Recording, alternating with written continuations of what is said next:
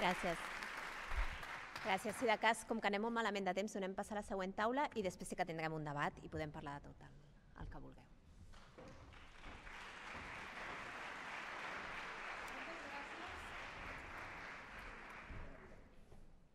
Moltes gràcies.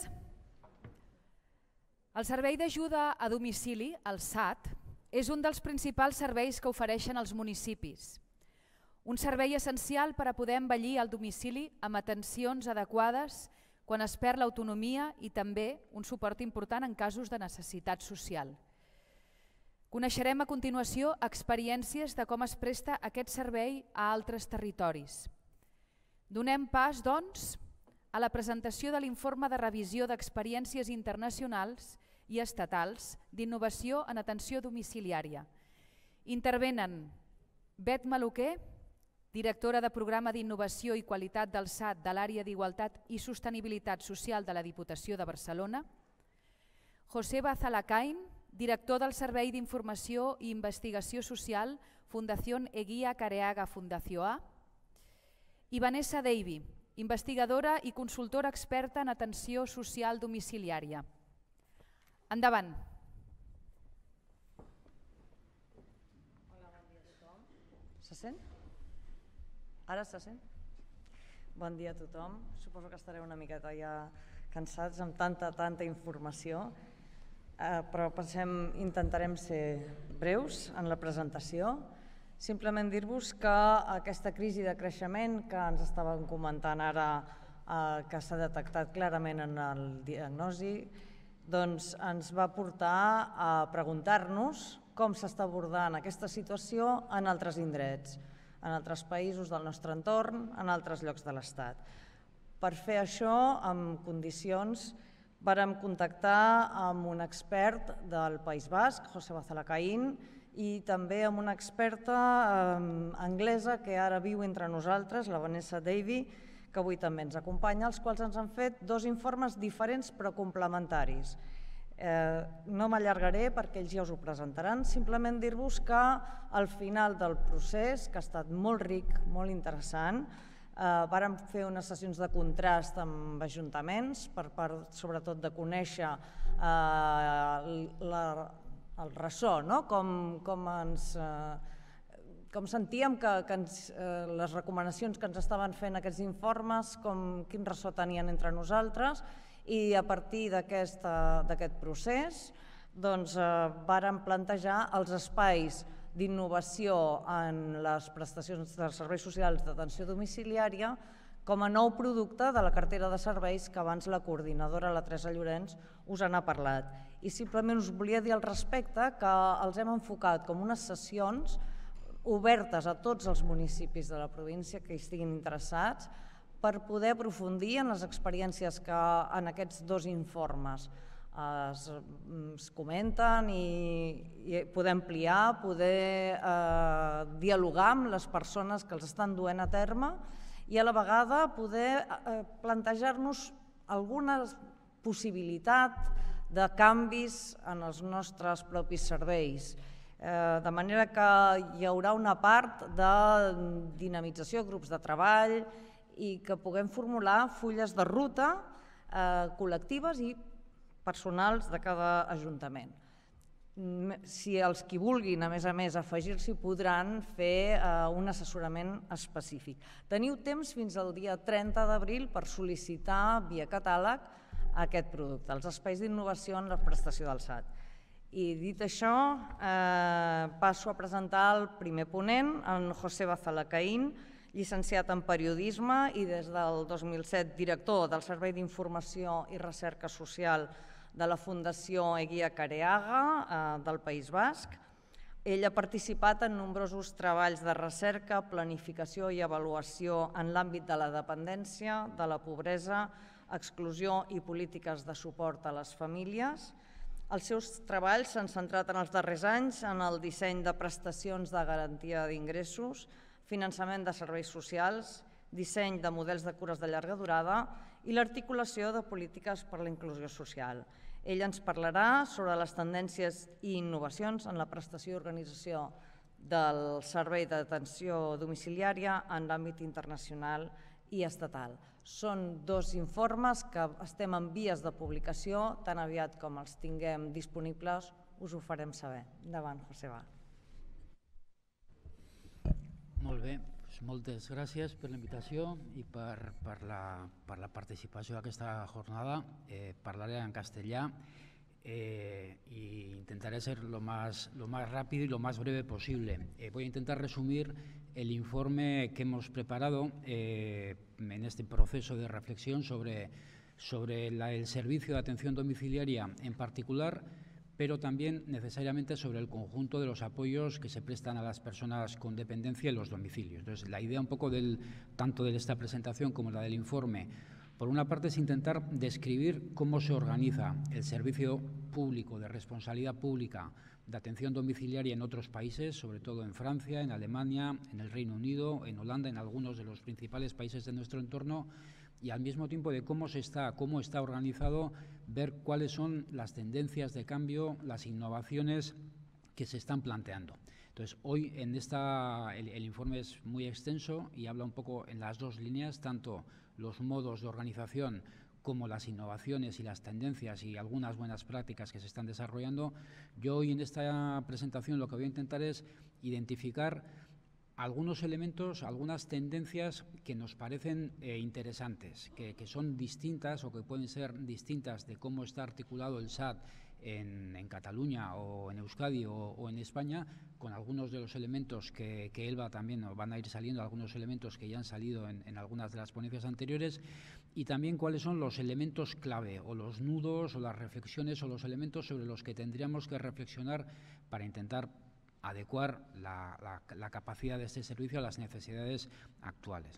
Eh, y bueno, vuelvo a decir que, que, todo lo que voy a contar ahora viene de este informe que hemos hecho para la Diputación de Barcelona y también de un informe previo que hicimos bastante similar para el Ayuntamiento de Vitoria. El, el, primero de los elementos que yo creo que es importante tener en cuenta, eh, que está ocurriendo en muchos de los países de nuestro entorno y no solo en el ámbito de la atención domiciliaria, también en el ámbito de la atención residencial y, de hecho, en otros elementos, en otros aspectos de las políticas sociales y que tiene que ver con la capacidad de elección. Y la capacidad de elección referida no solo a los servicios que las personas utilizan, no solo a la configuración del catálogo o del paquete de atención que las personas reciben, sino también a la entidad que es prestadora o a la entidad que es responsable de, de la provisión de ese servicio. Y simplificando mucho, yo creo que hay que insistir en que esta eh, reivindicación de la capacidad de elección de las personas tiene dos, dos fuentes o, nos llega, de, digamos, de dos necesidades o de dos lógicas. Una es la lógica de la personalización y es eh, clarísimamente defendida, por ejemplo, por el movimiento de la discapacidad física y es una mayor necesidad de flexibilidad, de elección, de agilidad, de cercanía, de proximidad eh, y sobre todo de autonomía y de control en quiénes son las personas con las que, van a prestar ese servicio. Y hay toda una un discurso, una lógica de la personalización, de la atención central a la persona, que tiene clarísimamente que ver con la libre elección. Y hay otra lógica que es diferente, que antes se ha citado, que es una lógica más mercantil, más basada en la idea de que, de que la competencia entre proveedores eh, acarrea mayor eficiencia y menor coste para las administraciones públicas. Yo creo que estas dos ideas están presentes venga los cambios de una idea o de la otra, es, eh, yo creo que un elemento clarísimo que tenemos que tener en cuenta es que una parte muy importante de los países de nuestro entorno, y diría fundamentalmente o clarísimamente Alemania y Francia, eh, establecen su sistema de atención domiciliaria mediante prestaciones económicas y fundamentalmente mediante prestaciones económicas que se entregan a las personas usuarias para que las personas usuarias contraten el servicio fuera de su eh, en el mercado. Eh, desarrollos de este tipo también existen en España. Eh, ha hablado de la prestación vinculada al servicio para el acceso al SAT, que ha crecido de forma importante. En Guipúzcoa hay una prestación, o bueno, una prestación que existe en todo el Estado, pero la prestación de asistencia personal tiene una cobertura muy, muy importante y ha supuesto un cambio muy importante, entre otras cosas, en términos de capacidad de elección de las, de las personas. Entonces, esa idea de libre elección mediante prestaciones, por ejemplo, no es tan común en el ámbito nórdico, en Escandinavia, pero en Escandinavia sí es común, eh, siguiendo también pues, esas... Eh, digamos, demandas de libre elección que se dan también en el ámbito educativo, se dan también en el ámbito de la salud. En, Escandinavia eh, se ha ido eh, ampliando la capacidad de las personas para acceder a los servicios que ellos eligen, a los proveedores que ellos eligen, mediante, no mediante prestaciones económicas, pero sí mediante la elección del proveedor. Yo creo que es evidente que las lógicas que hay para la libre elección en el ámbito de la salud o en el ámbito educativo tienen muchísimos riesgos, pero también tienen algunas justificaciones y desde luego ni los riesgos ni las justificaciones son los mismos que los que existen en el ámbito de la dependencia. Entonces yo creo que la idea de la personalización y de la libre elección es una primera tendencia y un primer elemento que tenemos que tener en cuenta. El segundo, y se ha citado también en la anterior ponencia, tiene que ver en todos los países de Europa eh, tiene que ver con la mayor eh, presencia de proveedores privados, tanto de entidades privadas eh, con fin de lucro como entidades privadas sin fin de lucro. Y es verdad que el reparto es muy distinto en función de los países. Hay países donde hay más entidades sin fin de lucro, hay otros países donde el papel primordial es de las, empresas mercantiles y hay algunos países, eh, Francia es un caso muy interesante, por ejemplo, también los países nórdicos, eh, donde las empresas, donde las entidades públicas compiten en, podríamos decir, igualdad de condiciones con proveedores privados en Francia, con, la prestación económica que se da a las personas, las personas pueden elegir entre contratar un servicio público o un servicio privado, siempre que en ese territorio exista una oferta de servicio público y de servicio privado. Normalmente los servicios privados no operan en algunas, en algunas, eh, en algunas áreas, pero es verdad que una tendencia clara ha sido esa. Yo no le llamaría privatización porque es una prestación pública eh, de, un servicio público por parte de operadores privados y al mismo tiempo, y quizá como contratendencia, también se están desarrollando en algunos lugares eh, tendencias diferentes que pasan por la publificación o por la creación de entidades de propiedad pública para la provisión del SAT y sobre todo también por la, por la extensión, y yo creo que Vanessa después nos hablará de algún ejemplo más claro, de fórmulas alternativas de contratación que pueden pasar por cláusulas sociales, por pagos por resultados, por conciertos sociales, por la idea, que a mí me parece importante, de generar una oferta de proveedores privados determinada que no sea solamente el mercado el que genere esa oferta.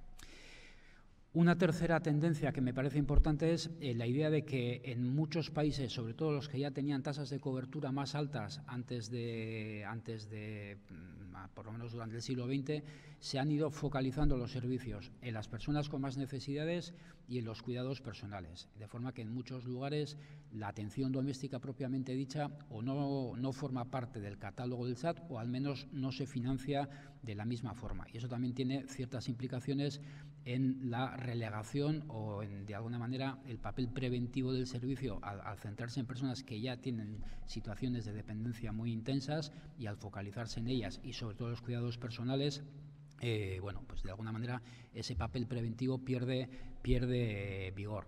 Eh, eso también viene acompañado de desarrollos interesantes a la hora de, generar herramientas y mecanismos de estratificación de las personas usuarias que permiten además una evaluación mejor del impacto de las, de las intervenciones.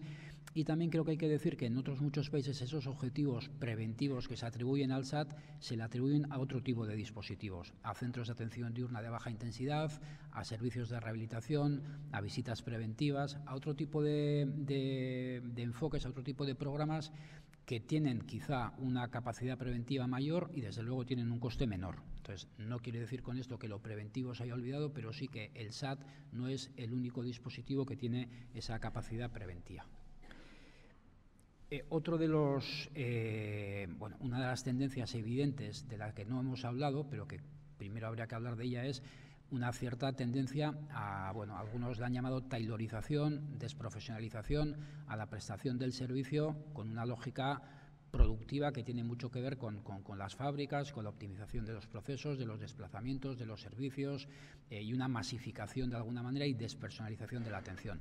Frente a eso, frente a esas tendencias a la desprofesionalización y esa tailorización, lo que sí se han desarrollado en los últimos años son modelos que por una parte están orientados a reforzar la dimensión territorial y la dimensión comunitaria de esos servicios y por otra parte a, fomentar la autogestión de, las personas profesionales. Yo creo que conocemos y especialmente en, Barcelona el, modelo el modelo Bursor de Holanda, pero también las, las superillas de Barcelona, los equipos de bienestar y las microempresas también eh, comunitarias de las que después nos hablará Vanessa. Bueno, todas esas eh, iniciativas que son distintas entre sí, pero tienen algunos elementos en común que son mayores posibilidades de personalización, mayor proximidad y mayor anclaje en, el, territorial en áreas pequeñas, la utilización de recursos comunitarios, el empoderamiento y la autogestión de las propias personas profesionales y también el énfasis en las fortalezas más que en los déficits de, las, de las personas usuarias. Otra de las tendencias que me parece que es importante que se, insistir en que se está desarrollando y tener en cuenta es esa idea de complementariedad y diversificación. Tener idea que el, servicio de atención domiciliaria no es ni de lejos el único eh, servicio que las personas eh, con dependencia y las personas que les cuidan eh, necesitan. Entonces, yo creo que, por ejemplo, el, el, seguro de dependencia alemán, algunos avances también se han dado en ese sentido en Guipúzcoa, avanzan por una parte en, catálogos de servicios mucho más amplios y mucho más diversificados del que tenemos, creo que Elba ha hecho alguna referencia a esta cuestión también, catálogos de servicios mucho más amplios, mucho más diversificados y mucho más flexibles de los que tenemos. Y muchas más posibilidades de complementar unos servicios y otros, eh, que es también otra de los problemas que tenemos hoy de, de unos catálogos de servicios en España o en la mayor parte de las comunidades muy limitados, muy inflexibles y muy rígidos.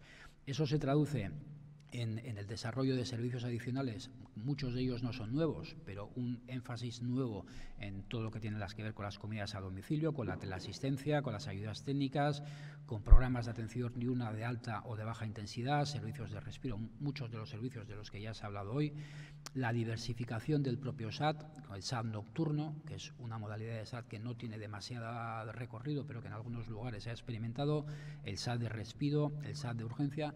Hay también países eh, o iniciativas en las que se ha experimentado con modelos de SAT de 24 horas, de SAT ultra intensivo, que han resultado también eficaces y eficientes para algunos colectivos todo lo que tiene que ver con el nuevo énfasis en los servicios de rehabilitación en el domicilio que están muy desarrollados, por ejemplo, en el Reino Unido o en Dinamarca, o las visitas domiciliarias que ya se están haciendo, por ejemplo, en, Barcelona, pero que hasta hace poco eran una cuestión bastante poco habitual en nuestro entorno y que, por ejemplo, en Dinamarca son una obligación para los ayuntamientos. Y muy vinculado a esta idea de complementariedad e integración eh, y diversificación es también el énfasis en la atención integrada y sobre todo eh, en la gestión intensiva de casos, ¿no? No, no tanto la atención integrada sociosanitaria a nivel más macro o más meso, sino sobre todo en el desarrollo de programas a nivel micro, a nivel micro, a nivel de individuo, a nivel de caso, a nivel de, familia, en el que se intenta eh, desarrollar una gestión de casos mucho más personalizada, mucho más intensiva, mucho más cercana y que permite que un profesional especializado pueda gestionar paquetes de apoyo mucho más, mucho más diversificados, mucho más flexibles, mucho, mucho más ágiles.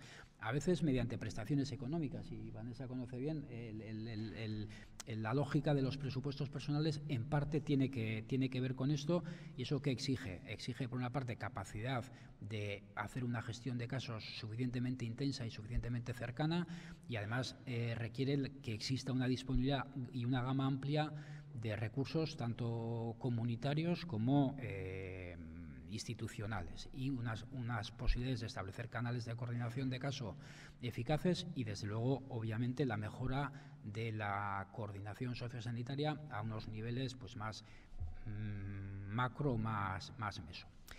Y la última de las eh, tendencias que a mí me parece importante destacar tiene que ver con los nuevos marcos de inspección y de evaluación. y esto también tiene que ver con, el protagonismo de las entidades privadas. Eh, cada vez me parece que es más evidente, como ocurrió en el ámbito de la salud, en el ámbito de la dependencia, tanto en el ámbito residencial como en el ámbito domiciliario, se están generando modelos de evaluación y de inspección que son muy diferentes a los que hemos conocido hasta ahora.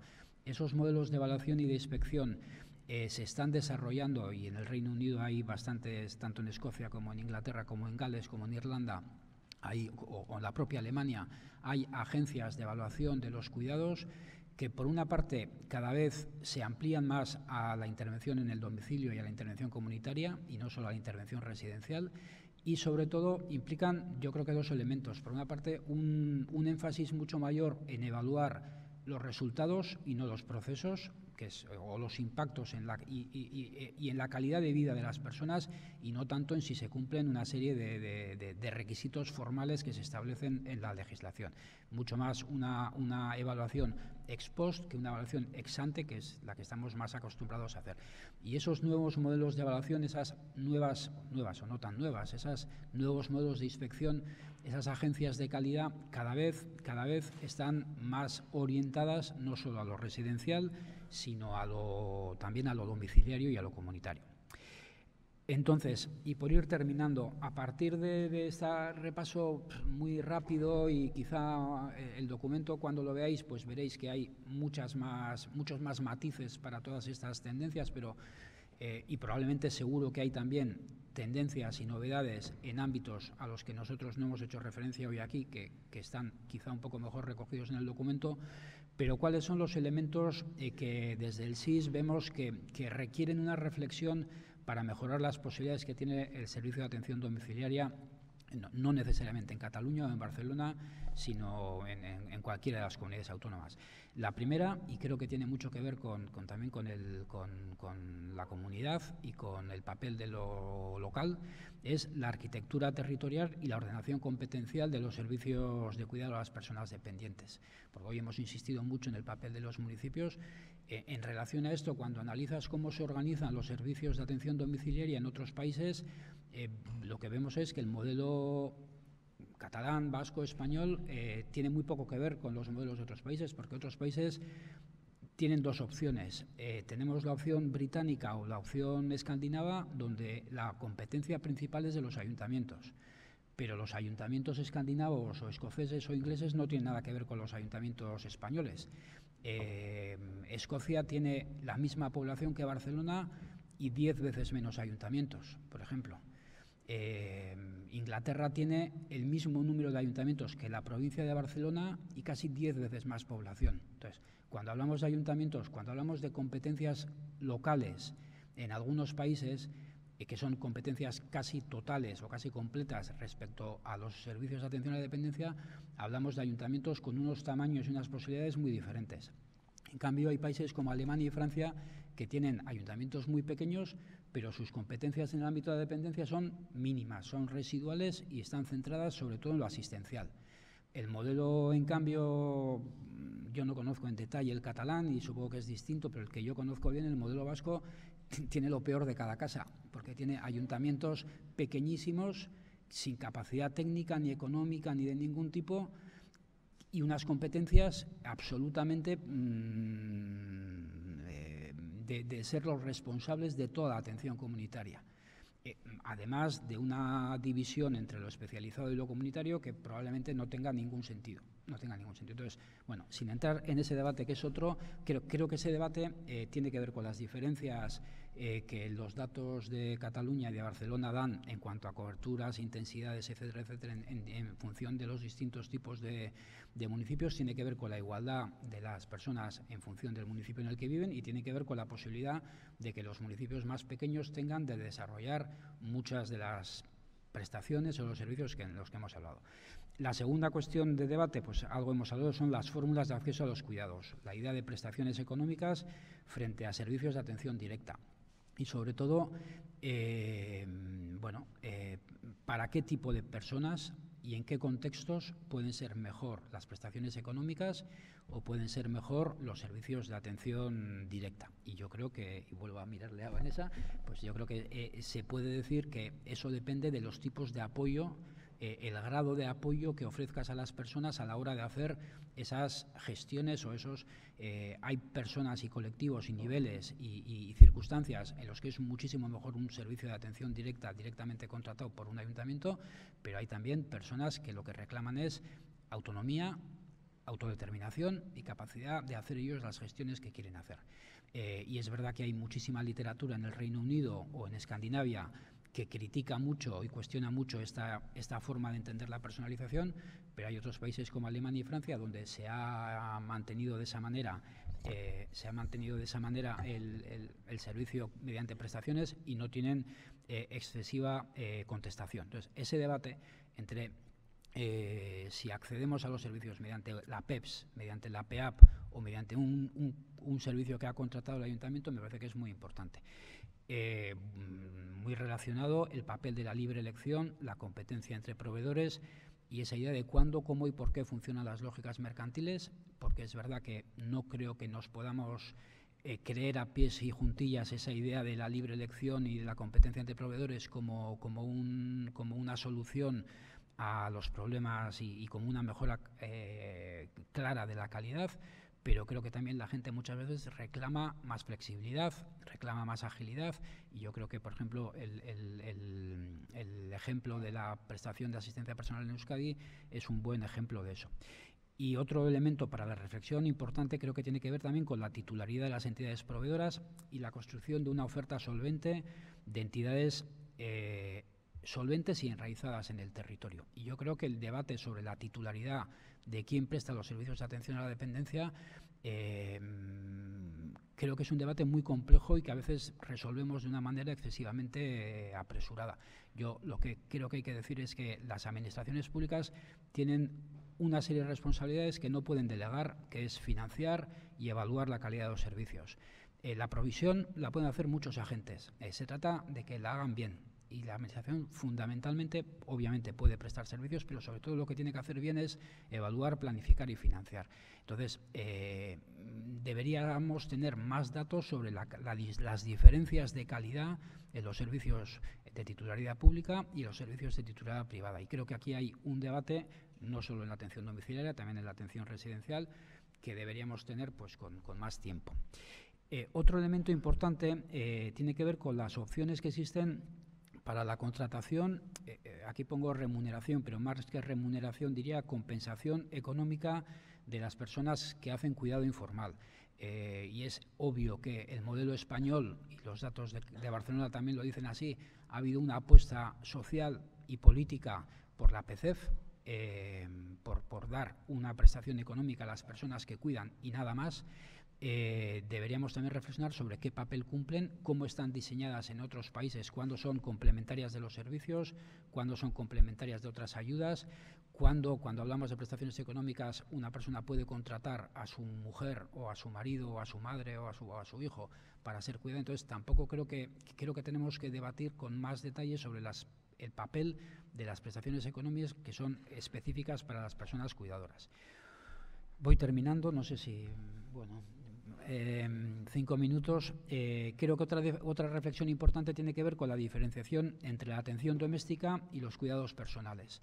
Eh, y eso tiene que ver con el posicionamiento o el reposicionamiento del SAT, en realidad. ¿Qué es el SAT? ¿Qué contenido tiene? ¿Y para quién es el SAT? Y yo creo que ese debate no sé si lo hemos tenido también con suficiente claridad. Entonces, yo creo que eh, no, quiero con esto defender que el SAT sea solamente para personas que, o, para la prestación de cuidados personales y que el SAT social o el SAT de atención doméstica se rechace, pero creo que el debate sobre un servicio público con un coste determinado, qué tipo de necesidades debe cubrir, y creo que ese también es un debate interesante. El siguiente me parece esencial la diversificación de los apoyos y la flexibilidad de los paquetes de atención y eso tiene que ver con los catálogos de servicios que tenemos y qué tipo de apoyos y qué tipo de cuidados y qué tipo de prestaciones se pueden incluir en un paquete individual, porque la gente puede necesitar centro de día, atención domiciliaria, residencia, pero puede necesitar podología, puede necesitar ocio, puede necesitar transporte, ayudas técnicas, puede necesitar muchísimas cosas, a veces que es imposible que estén en un catálogo institucional y la forma, los presupuestos personales han sido una forma de intentar darle una agilidad y una flexibilidad muchísimo mayor a la propia idea de, cartera pública de servicios. Obviamente, todo lo que tiene que ver con condiciones laborales, cualificaciones profesionales, perfiles profesionales y el propio empoderamiento de las personas trabajadoras es otra cuestión esencial que tiene que, también diré que no hemos encontrado ni grandes innovaciones, ni grandes tendencias, ni grandes mejoras más allá de este movimiento de, del Burstorg y Superislas en este aspecto. Y voy terminando, cuatro elementos más. Eh, los costes, no hemos hablado mucho de los costes. ¿Cuánto vale una hora de SAT? Eh, es prácticamente imposible encontrar estadísticas en España que nos digan cuánto le cuesta a la Administración una hora de SAT. Eh, yo sí os diré que vengo de un territorio donde la hora de SAT, por ejemplo, en Vizcaya, si no recuerdo mal, llega a las 30, 30 euros por hora de atención para, para las administraciones. Eh, no es un debate que se pueda dejar de lado. ¿Cuánto vale una hora en un, domicilio de, una persona? Y las fórmulas de financiación, que es otro debate mucho más amplio sobre quién debería financiar el SAT y cómo deberíamos financiar en, en conjunto las prestaciones de dependencia que no, que no vamos a entrar ahora sí me parece importante reflexionar sobre el copago. Eh, las diferencias en el copago que existen, por ejemplo, en la propia Barcelona, qué es lo que hay que copagar, si hay que copagar la atención doméstica o hay que pagar los cuidados personales. Escocia, por ejemplo, tiene un modelo de eh, atención gratuita para los cuidados personales para las personas que tienen una situación de dependencia, pero no es gratuito para la atención doméstica. Entonces, ¿qué es lo que hay que copagar?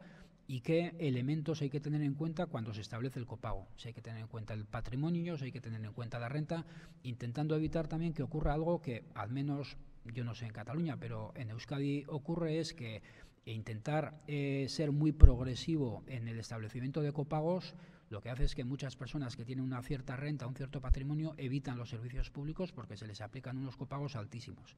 Y al final los servicios públicos se quedan solo para las personas que tienen poca renta, fundamentalmente porque a esas personas se les establece un copago muy bajo y las otras tienen un mercado mucho más flexible, de mucha peor calidad, un, un, mercado que es el de las mujeres inmigrantes, pero de, de según y cómo eh, reformulemos el copago podemos estar ahuyentando a ciertos grupos de población de unos servicios que se supone que son públicos y que son universales. Creo que también hay que reflexionar sobre el impacto de la digitalización y de las nuevas tecnologías, la sensorización, la robotización, la, la, teleasistencia. Y por último, y un poco también en relación a lo que hablábamos antes, otro elemento para mí esencial es eh, cómo hay que inspeccionar los servicios y también los servicios en el domicilio, cómo hay que evaluar los servicios, cómo garantizamos la calidad de la atención, no solo mediante leyes y no solo mediante la regulación de los servicios, sino sobre la evaluación y cómo generamos nuevas formas y nuevas herramientas de, evaluación de los servicios en el domicilio. Y nada más, eh, muchas gracias.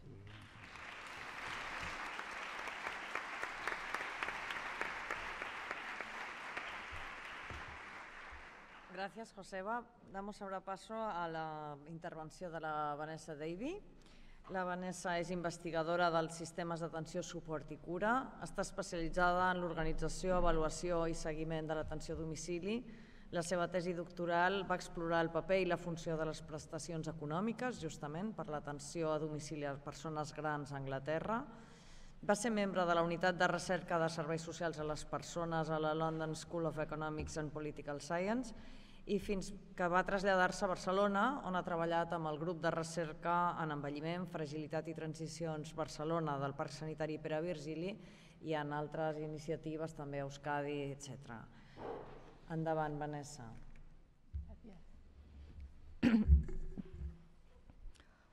Ok, Eh, pues en el informe que he trabajado con el Diputación eh, presento varios modelos de Inglaterra y algunos modelos de, Cataluña. Aquí hoy eh, el día eh, solo hay tiempo para un poco parte, un pequeño parte de, esta información, con lo cual que, me voy a enfocar en lo que me han pedido hacer, que es hablar de los presupuestos personales y los equipos de bienestar, que es uno de los ejemplos de del informe. ¿Dónde hay que darle? Ay, vale, ya. Ok, pues para entender el significativo de los presupuestos personales, es importante entender cómo era la situación antes. Entonces, um, en el sistema antiguo, uh, es quiere decir antes del 2014, que, que que entraron en vigor los presupuestos personales, em, fueron las autoridades locales que tenían la competencia y la responsabilidad de, mm, de prestar los servicios de atención a domicilio y, todos los servicios en, la comunidad para las personas con, con dependencia. Siempre el mayor servicio ha sido el SAT. Entonces, eh, una de sus mayores ocupaciones era de contratar el SAT. Entonces, mm, tenían, por, ejemplo, aquí, para simplificarlo, pues hicieron la licitación, como aquí, ¿no? Y, quedaron con tres empresas. Y podríamos decir que uno, pues, eh, tenían, con ellos tenían unos contratos de volumen. Eso quiere decir que, habían acordado una cantidad de horas em, fijos que iban a, financiar a estas empresas.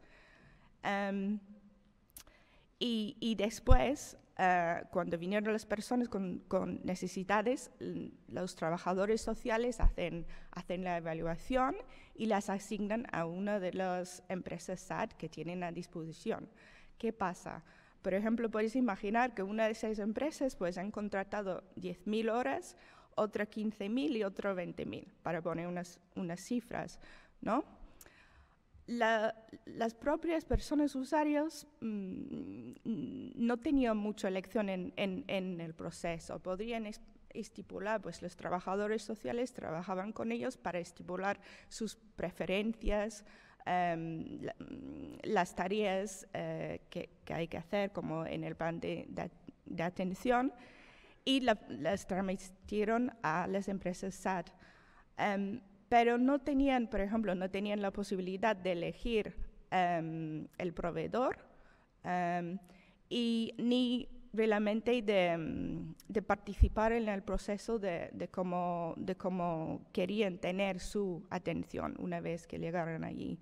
Y sobre todo, uno de los problemas era que, que siempre, bueno, eh, siempre pasaba que había, por ejemplo, una empresa SAT que, que, encontraban de mucha confianza de mucha calidad, que siempre acordaban primero las horas en esta empresa SAT y luego quedaron con el otro. Y si la persona decía, bueno, no, pero...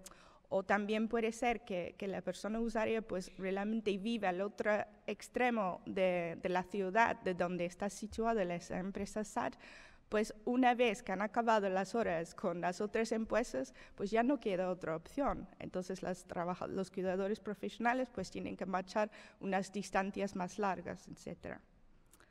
Entonces, pasamos a la, situación de los presupuestos personales. Entonces, en, este sistema, cada persona, en vez, de asignar la financiación para el SAT Em, a priori, el dinero, el recurso va con, la propia persona, ¿no? Y cada individuo que viene tiene su, evaluación como siempre, pero cuando, apuntan las necesidades y las tareas que necesitan eh, tener para pagar sus necesidades, lo que tienen que hacer es poner un precio unitario y una calculación del recurso que va a necesitar esa persona. Entonces, esto implica que cambia bastante eh, la, tarea y la responsabilidad y la relación que tenga el trabajador social con las personas usuarios, porque es mucho más em, intenso, podemos decir. También cambia de una forma bastante radical la relación que tenga la autoridad local con las empresas SAT, porque en vez de tener unos contratos de volumen eh, en que las empresas SAT están garantizados una cierta eh, cantidad de servicio, lo que tienen ahora en Inglaterra normalmente es un contrato marco, en lo que tienen cada empresa una cantidad indicativa de la posible eh, demanda de su servicio eh, con un precio eh, que está acordado entre la autoridad local y la empresa SAT. Luego, otra parte importante de, la reforma de los presupuestos personales es que hay más opciones que simplemente em, optar por, por, una de estas empresas que está contratado por la autoridad local, aunque fuera de un contrato marco, porque también existe la, la, posibilidad de un pago directo. Un pago directo es como si fuera una combinación de la prestación económica para la asistencia personal con la prestación económica para vinculado al servicio, porque se puede utilizar para pagar un asistente personal o para pagar una empresa SAT que no está contratada de forma directa de, desde la, este, la autoridad local. Es importante em, notar que los, los pagos directos eh, son, eh, existían antes de, de, los presupuestos personales, pero eh, por ejemplo, en, las personas mayores eh, fue en el 2003 que tenían derecho de, tener un pago directo. Pero como la gran mayoría de los recursos que, tenían las autoridades locales para pagar los servicios de, dependencia ya estaban vinculados y atados con, con los varios contratos que tenían con los proveedores, em, Em, se puede decir que, no había mucha motivación para promover los pagos directos, ¿entiendes? Porque era como decir que tenían que encontrar los recursos de otro, de otro lugar. Siempre había zonas en Inglaterra, autoridades que, estaban muy a favor de promover la, autonomía a través de, los pagos directos y, también muchos que no. Entonces, uno de los ambiciones de, la reforma de los presupuestos personales era de poder, teniendo un recurso para cada individuo, era para poder dar acceso a más personas a las prestaciones económicas.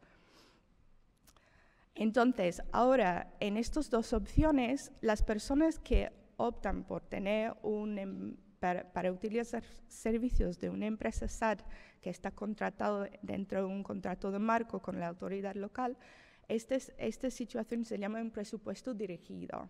¿vale? Tienen más, bueno, en principio tienen más eh, voz, más poder, más, más participación que antes, Em, porque, bueno, porque entre otras cosas que hay un proceso más intenso con el trabajador social de, especificar sus, sus, metas y sus objetivos, etc. Eh, y también porque hay, bueno, hay la elección del proveedor y que en principio los proveedores tienen que trabajar para atraer y fidelizar sus, sus, sus clientes, ¿no? Em, bueno. Ahora lo que voy a hacer es hablar mm, de unas personas em, en concreto. Em, pues esa persona eh, se le voy a contar como que si fuera una persona utilizando los pagos directos, pero en realidad esa persona eh, vive en Barcelona y es muy conocido porque, porque es el abuelo del mayor amigo de mi, de mi hijo. Y Manolo em, vive con su esposa Em, también vive con su hijo, porque su hijo separó de, de, separó de su mujer. Entonces, cada dos semanas viene el nieto y, vive con ellos también, conjuntamente. Em, pero bueno, el hijo tiene mucho trabajo, etcétera, no está mucho en casa. Em, Manolo, durante la pandemia, tiene bueno, varias enfermedades crónicas y durante la, durante la pandemia hay que decir que le pasó muy mal. Mm, tuvo muchísima angustia de, con el tema de, contagiarse y lo que le podría pasar. Em, el hijo se mudó y, y, cogió un piso pequeño cercano porque no quería mm, correr el riesgo de contagiarle. Em, y no vieron al, al, nieto, que siempre tiene mucha relación con él. Entonces, uh, ¿qué pasó? Es que hubo Manolo deterioró mucho durante este periodo, hasta tener un úlcera en, su pierna izquierda. Eh, y tuvo, bueno, tuvo atención, enfermería, casa, etcétera, pero esta úlcera no, no, mejoró. Entonces, cuando, cuando tuvo la vacuna COVID, em, su médico de cabecera le ofrecieron una terapia un poco un poco atípico de una cámara de oxígeno hiperbárico. Entonces le, tuvieron que llevar todos los días su esposa allí y fue un aporte muy intenso de cada día, dos horas, eh, cinco días por la semana durante cuatro semanas. Te puedo decir que su, su, esposa llegó completamente acabado. Manolo no comía, Manolo estaba más descaído y más desanimado que nunca. Pues frente a esta situación, poco tiempo después, Manolo tiene un ictas y acaba en una panorama que no se, no se puede levantar de la cama. Eh, su esposa no puede hacer esto y tienen que decidir qué hacer. Lo que pasa es que Manolo es muy vergonzoso y no quería tener la atención de una cuidadora em, femenina, para no decirlo de otra forma. Em, rechazaban la ayuda que hubieran podido haber tenido en casa. Entonces eh, es el hijo que se encarga de encontrar algo que podría encajar con lo que necesita realmente su padre. Entonces, bueno, teniendo en cuenta que hubiera tenido pues, un par de visitas al día, um, no le gusta levantarse pronto. Entonces encuentran un chico eh, a través del club de fútbol del hijo eh, que ha sido, eh, bueno, es, de Perú y ha sido entrenador de fútbol en su país. Eh, y ahora mismo no tiene mm, posibilidad de ese trabajo en Barcelona. Y viene sobre el mediodía, porque a Manolo no le gusta levantarse muy pronto, y le ayuda a, a mm, levantarse y vestirse Em, después de haber rechazado básicamente la vida, de no comer, de no participar de ninguna forma en, sus tareas personales, pues mm, le anima mucho de, participar en, el aseo, etc. Y como es una persona que entiende la musculatura y lo que es cuando alguien no se, no se moviliza, pues le hace mensajes y ejercicios para para ayudar con la deterioración de la musculatura que tiene. E incluso salen de veces. Una de las cosas claves que mm, al principio cuando empezó a trabajar con ellos, eh, tiene que ayudarle a, mm, comer.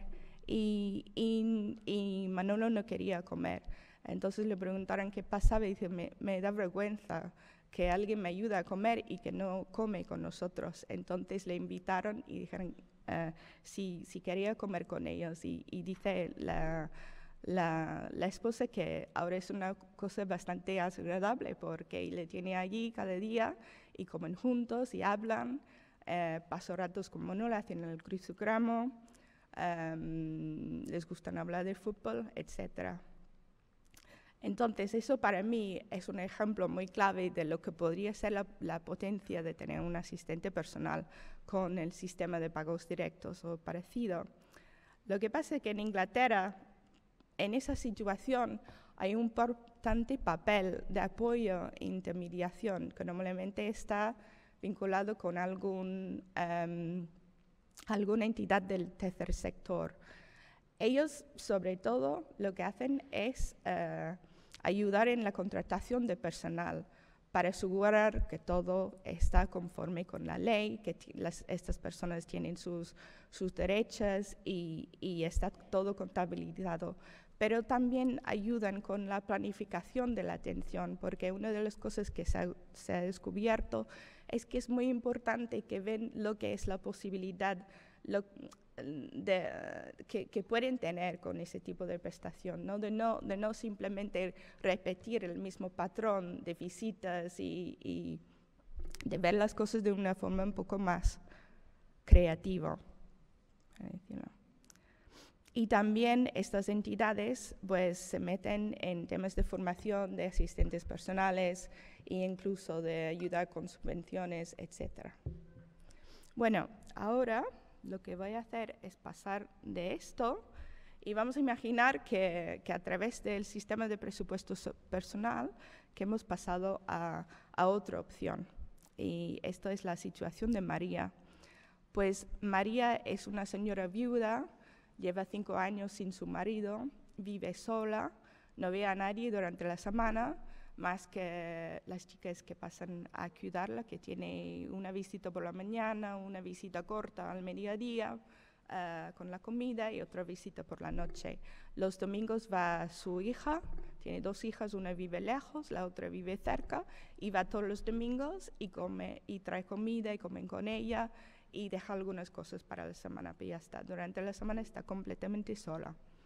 Entonces resulta que María se encuentra muy, muy resignada, eh, muy aislada eh, de forma social y, mm, bueno, con pocas ganas de vivir, básicamente.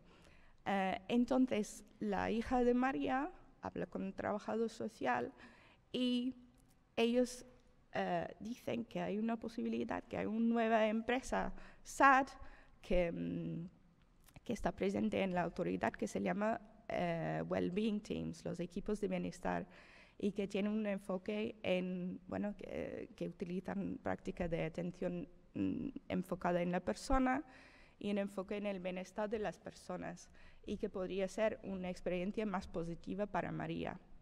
Entonces, a través de, de la prestación económica, uh, optan por uh, encajar con los equipos de bienestar como acaba de decir, que, que, que mm, esto es un, es un apoyo, esto es una mm, filosofía del apoyo que es muy centrada en la persona y no solamente en temas de cuidado personal, todo lo que tiene que ver con, con, con su aspecto emocional, etcétera, pero también buscan ayudar a que las personas formen parte de su comunidad. Es decir, como, lo, como ven las cosas de ellos es que bueno, hay un plan integral de la persona, ¿no? Y hay los, lo que podríamos llamar las necesidades de primera orden, que son los más básicos que hay que cumplir cada día. Pero tenemos un horario de atención y cada persona tiene unas mm, unidades de atención estandarizadas, ¿no? Tenemos aquí la hora y luego la media hora, etcétera pues aparte de lo que tenemos que hacer, que sí o sí en este tiempo, ¿qué es lo que podemos sacar con el poco de tiempo que nos sobra o cómo podemos utilizar este tiempo de, forma un poco más flexible para poder mejorar la calidad de vida para esa persona? Entonces, ellos, para entender el bienestar, lo, ven de, estas formas, em, de conectar, em, de poder crecer, de poder ser activo, de, poder ayudar a otros y de, poder observar, que eso es un trabajo de la Fundación de Nuevas Economías, que es como han clasificado lo que, lo que, son los caminos para todos hacia el bienestar. Entonces, una persona que, que que tiene una vida muy reducida de cierta forma, ellos intentan buscar, trabajar con ellos, cogiendo confianza para ver cómo podemos mm, ver eh, en alguno de estos aspectos, hacer algo que podría hacer un poco de diferencia en su vida. Entonces, sobre todo al principio, es un tema de confianza ¿no? con, con las existentes. Em, lo primero es siempre lo básico, que tienen que establecer una rutina con María y ver sus preferencias y ver qué le gusta. Pero poco a poco van descubriendo las cosas que importan a María. Y en los equipos de bienestar lo que hacen es, a partir de, la primera entrada y la primera evaluación que hacen cuando llegan allí, hacen una revisión a las seis semanas. Y en estas revisiones a las seis semanas intentan empezar a actuar en temas de, bienestar, ¿no? Entonces, hablando con ella, lo que descubren es que como no sale nunca, lleva mucho tiempo sin poder visitar el cementerio de su marido. Em, y hablan con la familia, vean que los domingos tiene citado una visita pero esta visita lo podrían dejar porque siempre va la familia, entonces habla con, con la hija y la hija dice que sí. Entonces pasan ese tiempo y, y, deciden que le van a llevar al cementerio una vez por semana. Con esto lo que pasa es que ven que para ella no es simplemente salir de casa y, y conectar un poco con, con, con, con su entorno, pero sobre todo para ella que es muy enriquecedor de poder hablar de su vida con su, con su marido y recordar estos momentos. Y a través de esto em, aprenden que tiene un gran amor para la música de baile. Entonces, desde este punto, eh, llegan a, especificar en su plan de atención que cuando llegan ahí algunos días, que sigue teniendo un días uh, que está muy desanimada, pues llegan allí y dicen, María, ponemos un poco de música antes de todo, ponemos un poco de música.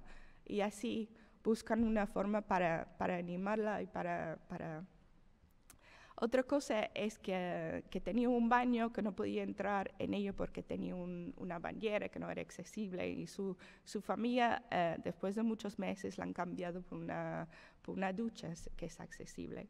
Y la primera vez que entra la cuidador profesional con ella, dice, ay María, que esto es, qué guay, que vamos a hacer como una, como una experiencia de peluquería la aprovecha tanto. Entonces decide de forma muy espontánea, pues coge el móvil y dice, ponemos un poco de música relajante, a ver qué cremas tienes, a ver qué shampoos tienes, y los cogen, huelen a todo. Y esto simplemente de pasar un tiempo y aprovechar el momento llega a ser una cosa que ve que realmente mm, trae muchos aspectos positivos. Es una pequeña cosa que pueden hacer. Eh, otra cosa que, que, incorporaron era de, mm, dar a los cuidadores profesionales un pequeño estuche en que, que tenían todo lo que necesitaba para poder arreglar sus manos ¿no? en cinco minutos, todo lo, lo, lo que deseca rápido, etc. Y así pues se siente un poquito mimada cada vez que ven. Esto no acaba allí, porque esto es la esa es el primer parte de, de buscar formas de, de, mejorar su calidad de vida. Desde allí, pues, hay otros, voy a saltar aquí un momento. Em, los, los, equipos de bienestar también trabajan en, en un marco en que, que, que cada, cada, cada, cuidador profesional tiene como un rol extendido. Entonces hay roles eh, asociados con la prescripción social o conectando a la comunidad, hay una persona que es como referente para la tecnología, hay una persona que es referente para el reclutamiento, etc. Entonces están siempre siguiendo a buscar formas de mejorar.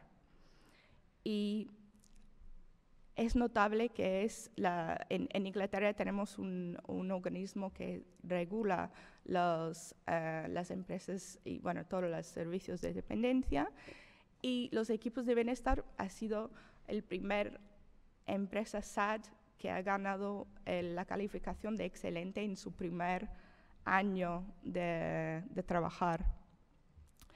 Luego vuelvo casi a cabo. Em, aquí, el nombre de los equipos de bienestar no solamente viene de de pensar en el bienestar de las personas usuarias, pero también del bienestar de los equipos. Cada, cada, persona que trabaja con ellos lleva un smartphone y utiliza muchas aplicaciones para mantenerse en contacto siempre. Son equipos de proximidad um, y son equipos autogestionados, parecido a, a, la situación en las superillas. Um, esto no creo que le ves muy bien, pero esto es una aplicación que se llama Slack. Y le utilizan para, bueno, para comunicar entre ellos. Hay varios canales.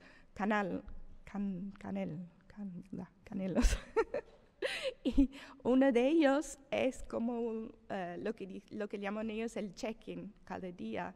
Entonces, utilizando unos emoticones típicos, es para que cada cuidador profesional dice qué tal está, porque si ellos están mm, dando una atención tan vinculada a la persona, tan basado en las relaciones, es muy importante que, que cuidan de sus mismos. Entonces, según la respuesta, si alguien demuestra que no se encuentra muy bien, que bueno, que siempre tiene una llamada de otra persona del equipo, hay como un sistema de, de, buddy entre ellos eh, y, siempre le siguen. También tienen tienen em, reuniones en equipo cada semana. em, y mucho énfasis en la supervisión continua y el, y el empoderamiento de, de, de cada miembro del equipo. Em, ok. Pues en términos de, de resultados, mm, en Inglaterra podemos decir, es verdad que, que, los servicios de atención a domicilio, como mencionó Joseba, que son más intensos que aquí, bastante más intensos. Uh, pero bueno, dentro de la norma que, que debería ser aquí, si estuviste haciendo lo que, lo, que, lo, que, lo que está previsto en la ley. Um, y no hay muchos datos longitudinales, pero sí de los pocos que están saliendo, pues dejan saber que, que el SAT y los pagos directos tienen un papel en poder prevenir la, la, la institucionalización de las personas.